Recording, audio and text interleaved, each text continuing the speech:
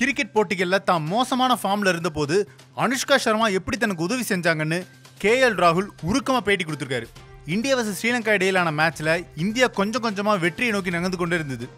ரோஹித் சர்மா ஒரு பக்கம் சதம் அடிச்சுட்டு அப்போதான் அவுட் ஆனார். இன்னொரு பக்கம் கேஎல் ராகுல் அதிரடியாக செஞ்சுரி நோக்கி போயிட்டு இருந்தார். எழுபது ரன்கள் வரைக்கும் பொறுமையாக ஆடிய கேஎல் ராகுல் அதுக்கப்புறம் அதிரடியாக ஆடினாரு. இந்த வேர்ல்டு கப் தொடரில் முதல்ல திணறினாரு கேஎல் ராகுல். ஆனால் கடைசியாக மூணு மேட்சஸில் நல்லா விளாண்டு வராரு.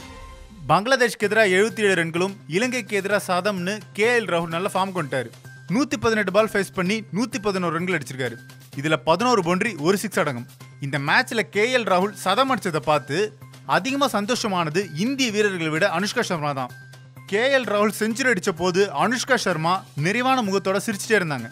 அவங்க முகம் முழுக்க அப்படி ஒரு நிறைவு இருந்தது.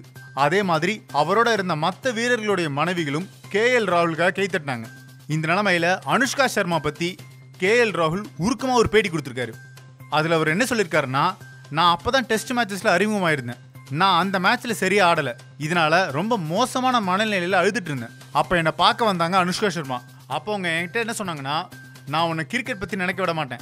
நீ நான் கோலி மூணு பேருமே இப்போ வெளியே போகலாம் மற்ற விஷயங்களை அடுத்த மேட்சஸ்ல பார்த்துக்கலாம் அப்படின்னு சொன்னாங்க அனுஷ்கா. நான் கோலி அனுஷ்கா மூணு பேருமே வெளியே போயிட்டு வந்தோம். அவங்க தன்னுடைய படங்கள் தோத்த கதையை பற்றியும் அதுலேருந்து எப்படி மீண்டு வந்தாங்கன்னு சொன்னாங்க. அது எனக்கு ரொம்ப உதவியாக இருந்தது.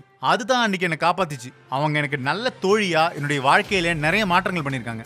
கோலியும் அனுஷ்காவும் என்னை பெரிய அளவில் மாற்றிருக்காங்க என்னோட இந்த நிலைக்கு அவங்க தான் காரணம்னு கே எல் ராகுல் உருக்கமாக சொல்லியிருக்காரு.